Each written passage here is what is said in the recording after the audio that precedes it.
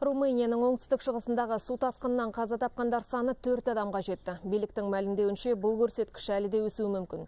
Өйткені үстісі жоғалғандар саны 20 адам. Толасы жауған жауын мен еріген қар салдарынан бірнеше өзен арнасынан тасқан.